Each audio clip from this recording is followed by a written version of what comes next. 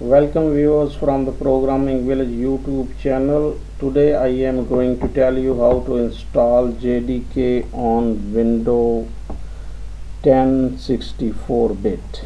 No. Java 8. Let us start.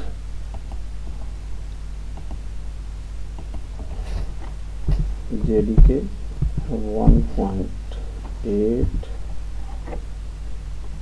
Oracle download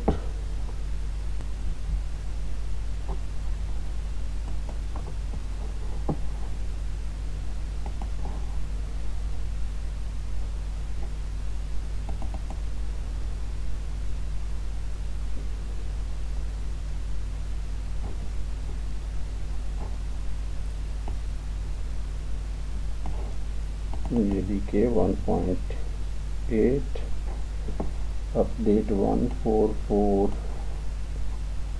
accept license agreement and it is window for 64 bit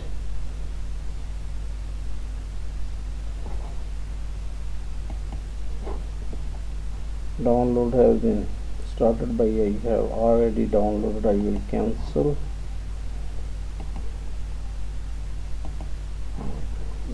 go to download here JDK 8 yes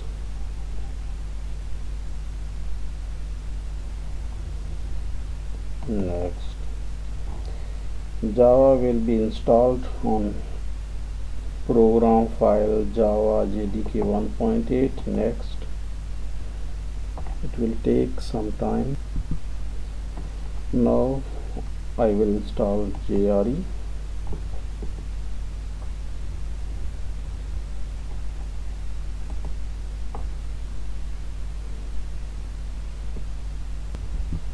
Java has been installed close.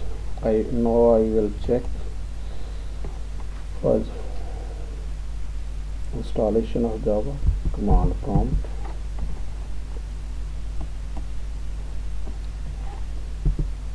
Java. Version. 1.8.0 underscore 144 Java has been successfully installed. Thank you for the watching of the video